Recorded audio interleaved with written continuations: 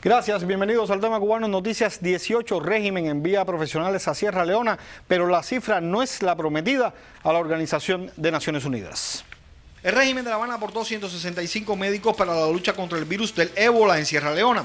El envío quedó por debajo de la expectativa de la ONU, pero La Habana tiene comprometido a la inmensa mayoría de sus profesionales de la salud en misiones por dinero en el exterior, descuidando incluso la situación médica de la isla.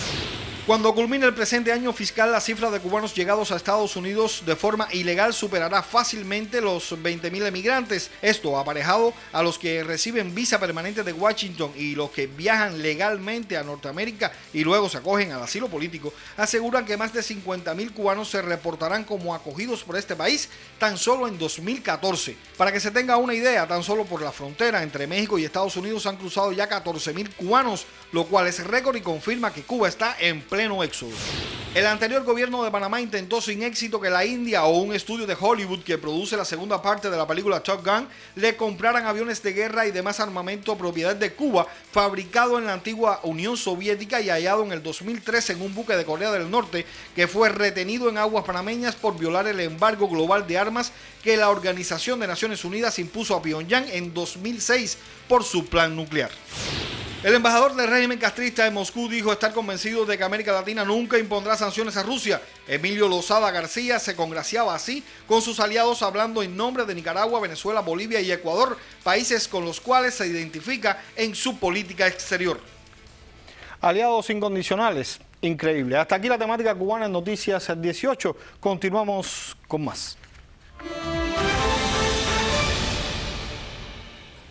Internacionales, comenzamos en México. Residentes y turistas de la península de Baja California comenzaron a salir de los refugios y evaluar los daños causados por el huracán Odil mientras aún llovía y el viento soplaba con fuerza sobre el área vacacional de Los Cabos. El huracán dañó seriamente los vestíbulos y fachadas de varios hoteles, dejando ventanas rotas y calles llenas de residuos. Las ventanas del Hotel Westin estallaron en pedazos. A su vez, dos sismos de más de 5 grados de magnitud sacudieron hoy la península mexicana de Baja California con epicentro en una zona aparentemente despoblada y sin que hasta el momento se hayan reportado víctimas o daños. Pasamos a Argentina y es que la imagen negativa de la presidenta Cristina Fernández ascendió a 43,8% este mes, el porcentaje más alto desde el pasado mayo, según un sondeo difundido este domingo por los medios locales. De acuerdo a una encuesta de la consultora Management and la imagen positiva de Fernández cayó al 26,5%, dos puntos por debajo de la que tenía hace un mes y muy lejos del 59,1% de su pico máximo alcanzado en febrero de 2012. El sondeo publicado por el diario Clarín revela también un fuerte rechazo a la gestión del gobierno, ya que seis de cada diez argentinos la desaprueban. En Europa, con los aviones de reconocimiento listos, el presidente francés François Hollande dijo que no hay tiempo que perder en la iniciativa global para combatir a los extremistas del grupo Estado Islámico. Las declaraciones del mandatario francés fueron en un encuentro internacional al que no asistieron los dos países que comparten la mayoría de la frontera iraquí, Irán y Siria.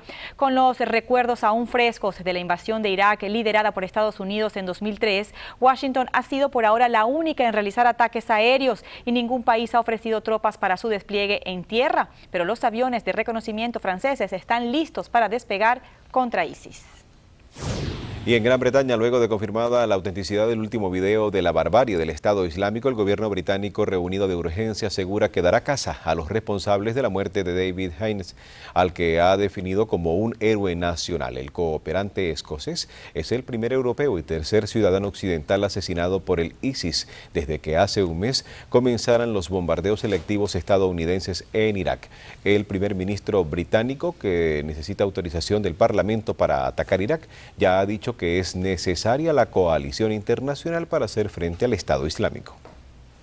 Y desde España, la joven afgana Setara, de 24 años, regresa a su país tras haber eh, recibido el alto hospitalaria de, en este país, donde fue tratada durante más de dos meses por médicos militares después de que su marido le cortara los labios, la nariz y los pabellones auditivos. El Ministerio Español de Defensa informó que la joven regresará a Afganistán tras finalizar el tratamiento de cirugía al que ha sido sometida en el Hospital Central de la Defensa en Madrid. Setara constituye un ejemplo más de la violencia de género en Afganistán. Fue vendida a los 7 años, casada a los 9 y madre de su primer hijo a los 11 años.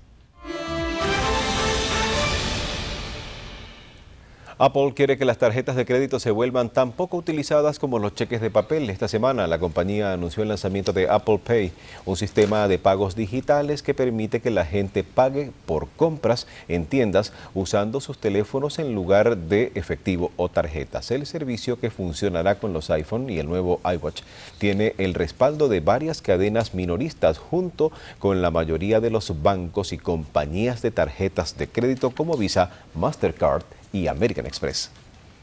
Me encanta esa idea, pero vamos a ver qué nos tiene Broderick Serpa en los deportes, este abre boca. Suenan tambores de guerra entre Cristiano Ronaldo y el Real Madrid. ¿Se iría el portugués? Todo esto lo sabremos aquí y más en Noticias 18 por Mira TV.